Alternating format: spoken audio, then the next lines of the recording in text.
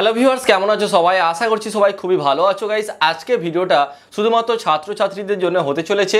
কারণ তোমরা মাধ্যমিক পাস করার পরে তোমরা ইলেভেনে ভর্তি হবে এবং ইলেভেনে ভর্তি হওয়ার সময় তোমাদের যেমন উচ্চ মাধ্যমিকের পাসের পরে পাস এবং অনার্স সাবজেক্ট চুজ করতে হয়, এরকম মাধ্যমিক পরীক্ষার পরেও তোমরা যখন ইলেভেনে অ্যাডমিশান নেবে, তোমাদের কাছে তিনখানা স্ট্রিম আছে যেমন আর্টস কমার্স সায়েন্স এবং তার সঙ্গে কেউ কেউ আইটিআই নিয়ে পড়াশোনা করে, কেউ কেউ কিংবা ভোকেশনাল নিয়ে পড়াশোনা করে।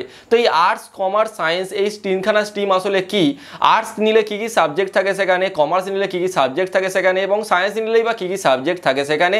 অর্থাৎ সাবজেক্ট কম্বিনেশন কি? কোন সাবজেক্টগুলো নিলে তোমরা আগামী দিনে ভালো স্কোর অর্থাৎ ভালো নম্বর পেতে পারো? সমস্ত কিছু ডিটেলসে এই ভিডিওতে আলোচনা করব। সুতরাং ভিডিওর সঙ্গে প্রথম থেকে শেষ অবধি জুড়ে থাকো, এবং অবশ্যই চ্যানেলের নতুন দর্শক হলে চ্যানেলটিকে সাবস্ক্রাইব করে নেবে। কারণ আজকে ভিডিওটা খুবই গুরুত্বপূর্ণ হতে চলেছে, কারণ আজকে আমি আর্টস কমার্স সায়েন্সের সাবজেক্ট নিয়ে আলোচনা করব। সো গাইজ তোমাদের সঙ্গে আমি সুজন এবং তোমরা দেখছ তোমাদের প্রিয় YouTube channel Bong Aerotech so guys প্রথমে বলে রাখি যে মাধ্যমিকের পরে তোমরা যখন ইলেভেনে উঠবে, মাধ্যমিকে তো এক সাবজেক্ট নিয়ে তোমরা পড়াশোনা করেছ, সমস্ত কিছু। লাইক তোমাদের ম্যাথামেটিক্স থেকে শুরু করে জিওগ্রাফি হিস্ট্রি সমস্ত কিছু সাতটি সাবজেক্ট নিয়ে তোমরা পড়াশোনা করেছ। তো ইলেভেনে যখন উঠবে তোমরা মানে আগামী দিনে উচ্চ মাধ্যমিক তোমরা দেবে, তোমাদেরকে পাঁচটি সাবজেক্ট বেসিক্যালি নিয়ে পড়াশোনা করতে হয়। তো পাঁচটি সাবজেক্ট এবং কেউ কেউ একাধিক একটি সাবজেক্ট নিয়ে থাকে, অর্থাৎ ছয়টি সাবজেক্ট নিয়ে পড়াশোনা করে। তো এই পাঁচটি সাবজেক্টের মধ্যে মোস্ট প্রবাবলি কমন যে সাবজেক্টটি হয়, সেটি হচ্ছে একটি ফার্স্ট ল্যাঙ্গুয়েজ অ্যান্ড সেকেন্ড হচ্ছে সেকেন্ড ল্যাঙ্গুয়েজ অর্থাৎ বেঙ্গলি এবং ইংলিশ অর্থাৎ তোমাদের এটা কম্পালসারি এই সাবজেক্টগুলি তোমাদের থাকবেই। তো এটা তো আমাদের থাকছে। এরপর আরও তিনটি সাবজেক্ট তোমাদের নিতে হয়।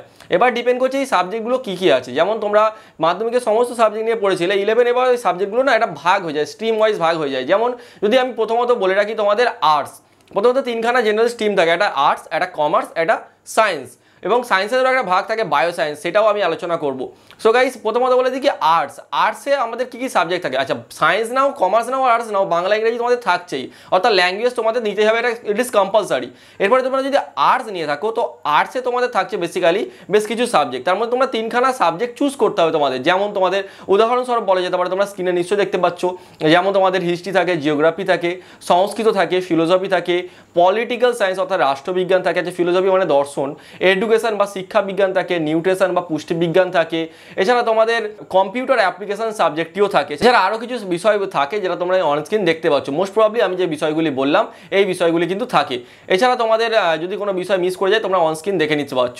তো এই বিষয়গুলির মধ্যে থেকে তোমাদের তিনখানা সাবজেক্ট চুজ করতে হবে। বা কোন তিনখানা সাবজেক্ট চুজ করলে বেশি নম্বর পাওয়া যায় বা কি, সেটা আমি পরে বলছি। তার আগে বলে দিই, তোমরা যদি সায়েন্স নাও সো সায়েন্স নিলে তোমাদের যে সমস্ত সায়েন্স স্ট্রিমের মধ্যে সাবজেক্ট থাকে বেসিক্যালি সায়েন্সকে ভাগ করা যায় পিসিবি পিসিবিএম এই সমস্ত হিসাবে ভাগ করা যায়। সেগুলো আমি শর্টকাটে এতটা যাব না। পরবর্তী সময়ে সায়েন্স নিয়ে তোমরা যদি জানতে চাও, তোমরা কমেন্ট সেকশানে কমেন্ট করো। আমি ডিটেলসে ভিডিও বানিয়ে দেবো। তার আগে বলে দিই, আজকে এটা কম্বাইন কম্বিনেশন ভিডিও হচ্ছে আর্টস কমার্স সায়েন্সের তত ডিটেলসে যাব না। তো সায়েন্সে তোমাদের যেটা থাকে ফিজিক্স কেমিস্ট্রি ম্যাথামেটিক্স বায়োলজি এই সাবজেক্টগুলি তোমাদের থাকে। তো ফিজিক্স কেমিস্ট্রি হচ্ছে কমন সাবজেক্ট সায়েন্সের এটা জেনে রাখো। এবারে তোমাদের এই সায়েন্স নিয়ে আসার সময় একটা বায়ো সায়েন্স বলে তোমাদের মাথায় থাকে। বায়ো সায়েন্স কী? তো বেসিক্যালি সায়েন্স তোমাদের বলতে গেলে বোঝায় যে ফিজিক্স এবং কেমিস্ট্রি এটা তোমাদের থাকবেই। তার সঙ্গে তোমরা যদি ম্যাথামেটিক্স নাও, তার সঙ্গে বায়োলজি নিতে পারো। এবার যদি তোমাদের বায়োলজি সাবজেক্ট অর্থাৎ বায়োলজি মানে কিন্তু এখানে তোমরা যেমন মাধ্যমিকে জীবন বিজ্ঞান পড়েছো, সেমনি। তো বায়োলজি তোমরা যদি তোমরা যদি সাবজেক্টটি নাও, তাহলে বায়োলজি সাবজেক্টে আগামী দিনে মেডিকেল লাইনে তোমরা যদি যেতে চাও, নিতে পারো। কোন লাইনে কি, কোন কেরিয়ার আছে, সেটা নিয়ে আমি পরে আলোচনা করব। আগে বলে দিই কি বায়ো সায়েন্স কি? যদি তোমাদের বায়ো বায়োলজিটা যদি মেন সাবজেক্ট হয়, অর্থাৎ তোমাদের ফিজিক্স কেমিস্ট্রি এবং বায়োলজি আছে, তাহলে তোমরা কিন্তু এইটিকে বলতে পারো যে তোমাদের বায়ো সায়েন্স এবং তোমরা যদি বায়োলজি নিয়ে নিলে, অনেকে এটা ধারণা থাকে যে বায়োলজি নিয়ে নিয়েছি মানে বায়ো সায়েন্স নিয়ে নিচ্ছি। এমনটা না। বায়োলজির সঙ্গে তোমরা যদি অন্য কিছু সাবজেক্ট নাও বা আর্টস থেকে কোনো একটা সাবজেক্ট তুলে নাও, বা অন্য কোনো সাবজেক্ট তোমরা যদি নিয়ে নাও, তাহলে কিন্তু বায়ো সেটা কিন্তু বায়ো সায়েন্স হয় না। হ্যাঁ আরেকটা জিনিস মিস করে যাচ্ছি। সায়েন্সে কিন্তু কম্পিউটার সায়েন্স নামকও একটি সাবজেক্ট আছে, একটি বিষয় আছে যেটা তোমরা নিয়ে পড়াশোনা করতে পারো। এবং কম্পিউটার সায়েন্স সাবজেক্টটা কি? শর্টকাটে একটু পরে বলব আমি। বেসিক্যালি আমার পছন্দের সাবজেক্ট যাই হোক, আমি একটু পরে বলব। এরপরে আছে কমার্স তো কমার্স স্ট্রিমে যেটা আছে, সেটা তোমাদের হচ্ছে তো বেসিক্যালি অ্যাকাউন্টেন্সি বিজনেস স্টাডিজ এবং তোমাদের কমার্শিয়াল ল কস্টিং এই সমস্ত সাবজেক্টগুলো নিয়ে তোমাদের কমার্স সাবজেক্টটি গঠিত হয় কমার্স বিষয়বস্তুটি গঠিত হয়। তো এর মধ্যে যে কোনো এই যে তোমরা বললাম, আমি আর্টস কমার্স এবং সায়েন্স এই তিনটের মধ্যে তোমাদের যে কোনো এই তিনখানা যে কোনো তুমি আর্টস নিচ্ছ, তাহলে তিনখানা সাবজেক্ট নেবে এর মধ্যে থেকে।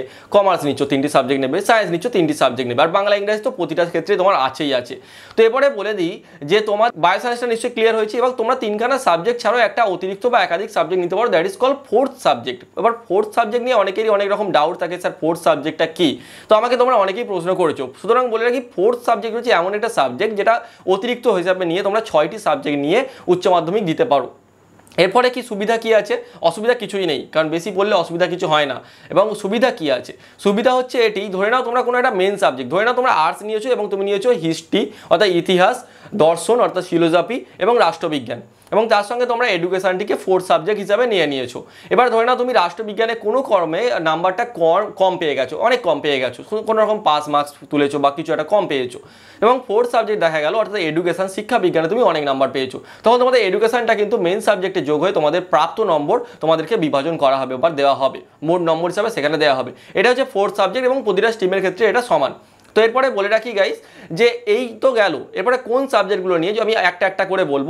বেসিক্যালি আর্টসের ক্ষেত্রে আমি তোমাদের বলব, কারণ সায়েন্সের নিশ্চয়ই বুঝতে পেরেছ, তোমরা এক কাজ করতে পারো সায়েন্সে ধরে নাও তুমি ফিজিক্স কেমিস্ট্রি এবং ম্যাথ নিচ্ছ, যেটা পিওর সায়েন্স বলা হয়, এবং তার সঙ্গে তুমি অপশনাল হিসাবে, অর্থাৎ I mean that fourth subject হিসাবে তোমরা বায়োলজি নিতে পারো। এবার অনেকে কি হয় কম্পিউটার সায়েন্সটা নিয়ে নেয় এখানে। কম্পিউটার শব্দটা খুবই সহজ মনে হয় আমাদের। অ্যাকচুয়ালি খুব একটা কঠিনও নয় এটা। অনেকেই এটাকে কঠিন বলে। কম্পিউটার সায়েন্সটা খুব একটা কঠিন নয় এবারে যার যেটা ভালো লাগে। অনেকে বলে কম্পিউটার সায়েন্স নিও না অনেক কঠিন এমনটা কিন্তু নয়। সে যাই যাই বলুক, সম্পূর্ণ জানবে তোমরা একটা জিনিস যে তোমার কোনটা ভালো লাগে, যেটা তোমার ভালো লাগবে সেটা তোমাদের কোনোদিন কঠিন লাগতে পারে না, সেটা তোমার অবশ্যই সহজ লাগবে। এবারে কম্পিউটার সায়েন্স সাবজেক্টটা কি? ধরে না তুমি প্যাশনেট অ্যাবাউট কম্পিউটার কম্পিউটার সম্বন্ধে জানতে ভালোবাসো। কম্পিউটার নিয়ে আগামী দিনে অনেক পড়াশোনা করতে চাও কম্পিউটারের উপরে ইঞ্জিনিয়ারিং করতে চাও, অর্থাৎ এমএসসি ইন কম্পিউটার করতে চাও, বা আদার্স অনেক কিছু করতে চাও, বা সফটওয়্যার ইঞ্জিনিয়ার হতে চাও আগামী দিনে, বা অন্য কিছু হতে চাও কম্পিউটার ফিল্ডে তাহলে তুমি অবশ্যই কম্পিউটার সায়েন্স সাবজেক্টটা নেবে। সেমনি যারা আর্টস নিয়েছো তা, বা আর্টস নেবে তারা, তারাও কিন্তু কম্পিউটার অ্যাপ্লিকেশন নামে একটি সাবজেক্ট আছে সেটিও নিতে পারে, এবং এক্ষেত্রেও কিন্তু কম্পিউটার অ্যাপ্লিকেশন নিয়ে আগামী দিনে বিসিএ এমসিএ করে কম্পিউটার ফিল্ডে নিজেকে গ্রোথ করতে পারে। যাই হোক, এবারে আসি সাবজেক্ট বিভাজন। বেসিক্যালি তোমরা ইতিহাস ইতিহাস সাবজেক্টটা নিতে পারো, কারণ ছোটোবেলা থেকে পড়াশোনা করে আসছো, ইতিহাস নিতে পারো।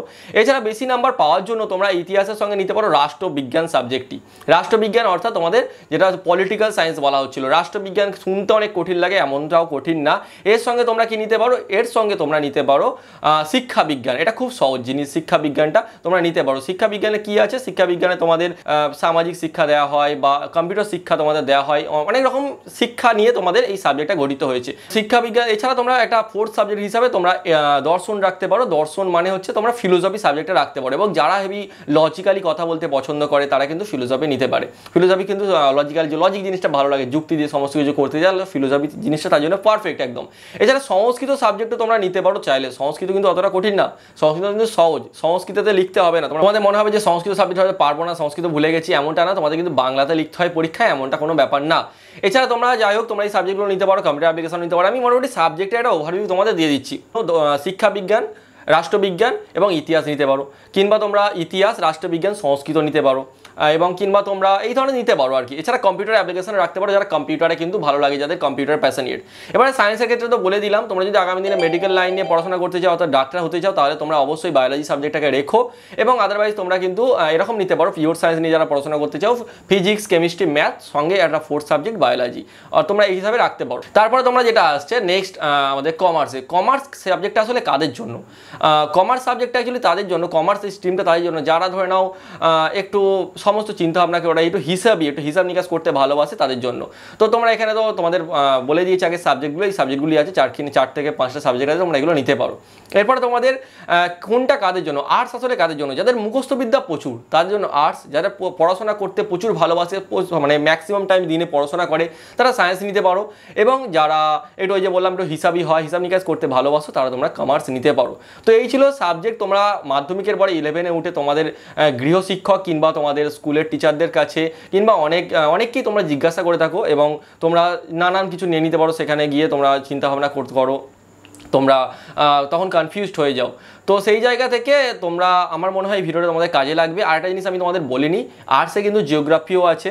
এবং সায়েন্সও জিওগ্রাফি আছে, তোমরা জিওগ্রাফি নিতে পারো। জিওগ্রাফিটা এমন একটা সাবজেক্ট এবং নিউট্রিশন সাবজেক্টটা এমন একটি সাবজেক্ট এটা সায়েন্সেও আছে এবং আর্টসেও আছে। এবং আর্টসে নিলে জিওগ্রাফিতে প্রচুর মার্কস পাওয়া যায়, ভালো নাম্বার পাওয়া যায়, সমস্ত কিছু আমি আরও একবার বলছি, তোমাদের যেটা ভালো লাগে। এবং নতুন সাবজেক্ট বলতে গেলে আর্টস থেকে যেটা থাকছে আমাদের, নতুন সাবজেক্ট নতুনটা তোমাদের অনেকগুলোই সাবজেক্ট থাকছে, যেমন দর্শন, রাষ্ট্রবিজ্ঞান নিউট্রিশন তারপর তোমাদের এডুকেশন মানে আই মিন দ্যাট শিক্ষা বিজ্ঞান agronomy home management computer application এই সমস্ত সাবজেক্টগুলো কিন্তু তোমাদের নতুন। এবং তোমাদের সায়েন্সে তোমরা জানো ফিজিক্স কেমিস্ট্রি এগুলো নতুন তোমাদের কিছু না। এবং কমার্সে যেটা, যে কমার্স সাবজেক্টটা সবার কাছেই পুরোটাই নতুন।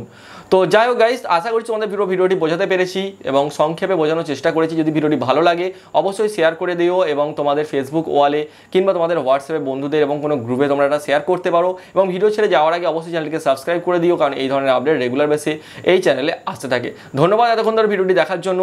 আশা করছি এই ধরনের ভিডিও নিয়ে তোমাদের কাছে রেগুলার বেসে আসতে পারব। তো অবশ্যই ভালো থেকো, সুস্থ থেকো এবং সম্পূর্ণ সুরক্ষা কামনা করি। সমস্ত ছাত্রছাত্রীর ধন্যবাদ।